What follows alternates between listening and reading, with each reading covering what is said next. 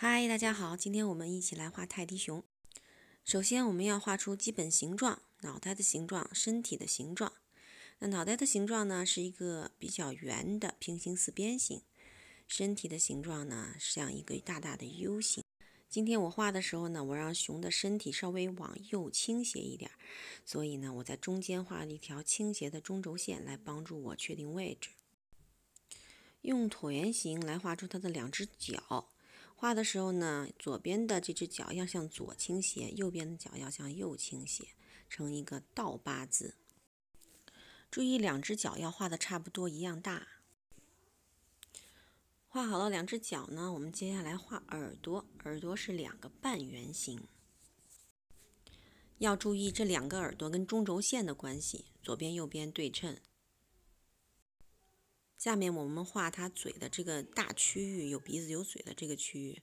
我们先画一个椭圆形，再在椭圆形呢，这个椭圆形基本上要占到三分之二的位置，然后上面稍微画一个小小的尖儿，用圆顺的线把这个尖儿连上，画成一个像夏威夷果一样的形状。我加深了一下中轴线，方便大家看清楚。这个时候我画它的胳膊，画胳膊的时候呢，记得从脑袋和身体开始交叉的地方，我这个位置开始画，然后靠近肩膀的地方窄一点，靠近下面的地方宽一点。我先画了左边的胳膊，没有画右边的，是因为我想画两只小熊靠在一起，所以我现在开始画第二只小熊。那这个画熊的时候呢，嗯，我因为想让它看起来那个比第一只小熊稍微的。小一点儿，所以它的呃头我画的差不多大，或者是更大一点儿。但是画的方式是一样的，也是要先画一个类似于平行四边形，然后再把四个角修成圆的。耳朵呢也是半圆形，所以步骤基本上是一致的。用 U 型画出它的身体，这个身体可以稍微的更胖一点儿。嗯，注意它的身体呢要像。嗯，左边稍微倾斜一点，用椭圆形来画脚，左边往左倾斜，右边往右倾斜，成倒八字。嗯，这个时候呢，我们小两只熊的大体的布局就画好了。大家要注意检查一下构图，看这两只熊在你的纸的位置站的位置怎么样？嗯，有有没有画的太小？这个首先要注意这个布局啊，不要画的太小。现在我要画的是小熊的胳膊，我让它的胳膊也同样的是从嗯脑袋和身体相连的部分开始画，肩膀窄，下面宽。我现在画的是它的嘴的部分，大椭圆，上面加圆顺的一个尖。这一次我画的时候，它没有占到三分之二，它只占到了二分之一，因为我想让这只小熊看起来更小一点，就是像熊宝宝。哎，在靠近这个尖儿的两边画上两只小眼睛。鼻子呢，用一个倒三角来画，啊，先画上面是一个平的，然后让这个三角形的尖朝下。同样的步骤来画大熊的鼻子。注意鼻子的大小呢，是在这个椭圆形里面大概要占到三分之一多一点点，让它的鼻子大一点儿。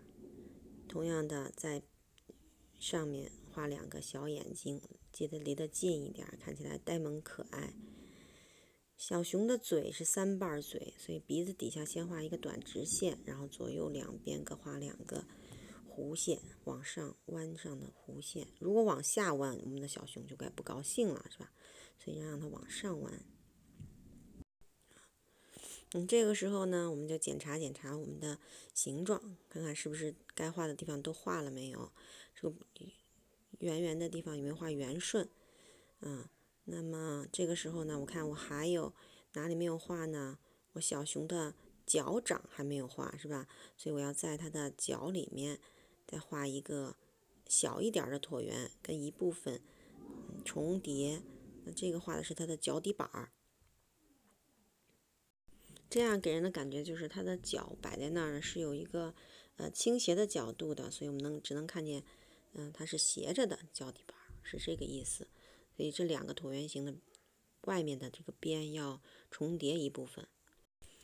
形状大体差不多了，就自己再检查检查，看哪里的线有没有不满意的，可以稍微的调整一下，修改修改。比如说我这个熊的胳膊，我就觉得嗯还不够满意，稍微擦掉一点儿，让它更更好看、更舒服。脚掌画好了之后呢，我们要在脚掌这个里头的椭圆上加脚趾头，啊，然后嗯，熊的脚呢分成。三个脚趾头和一个脚垫子是吧？所以我们画三个小椭圆当脚趾头，然后一个扁扁的椭圆当脚垫子。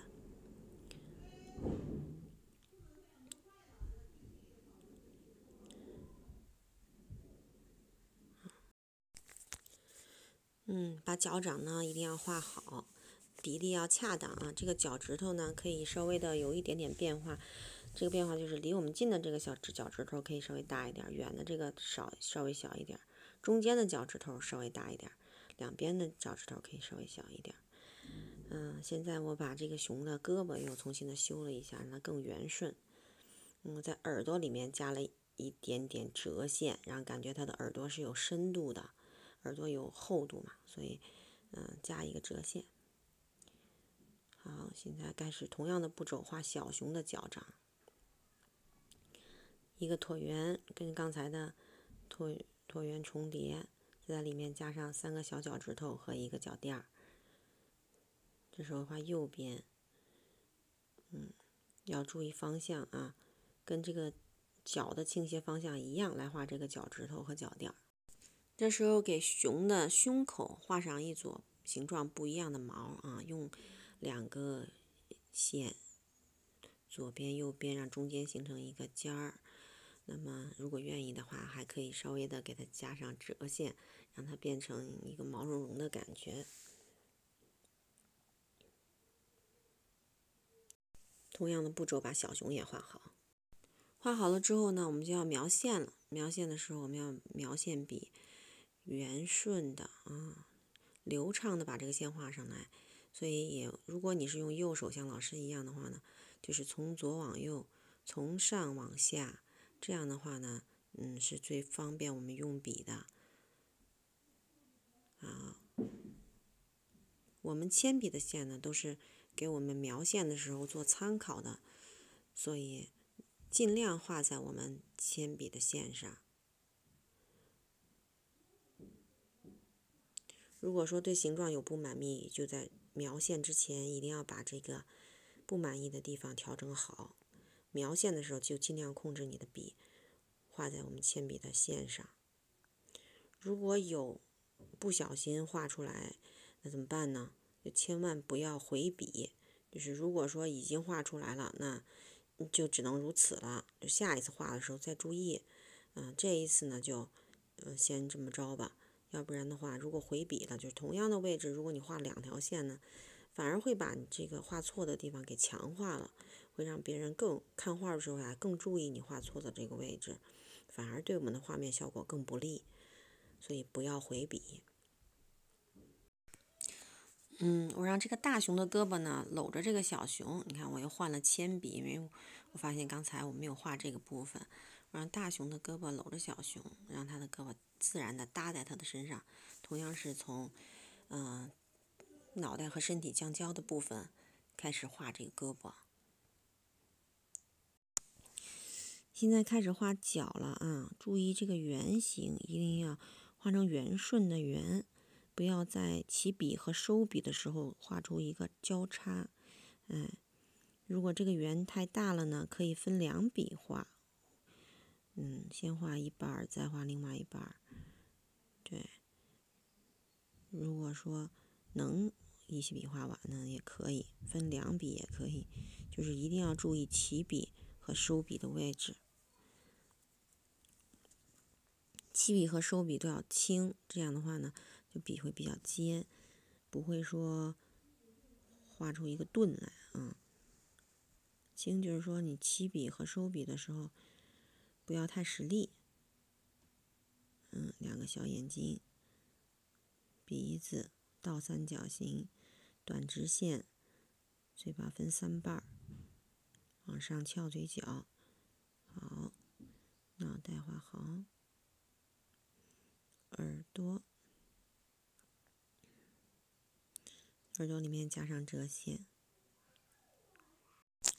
那，现在开始画小熊的身体，把它描上，注意穿插关系。我让大熊的脚在前面，所以小熊的胳膊呢就被挡住了一部分，所以有一部分小熊的手是不描出来的。我们描线前呢，自己一定要想好哪些线是前面，哪些线是后面。啊，这是小熊另外一边的胳膊，也是有穿插关系，脚在最前面，因为我们可以。考虑一下，如果是我们自己坐在那儿的话，是不是脚伸的最靠前，最最往伸的最远？嗯，所以从前面看的话，可能先看到我们的脚。嗯，脚挡住了一部分肚皮，还挡住了小熊的胳膊。哎，这时候把毛也画上。哎，我加了一点点线，像它肚皮上的这个线。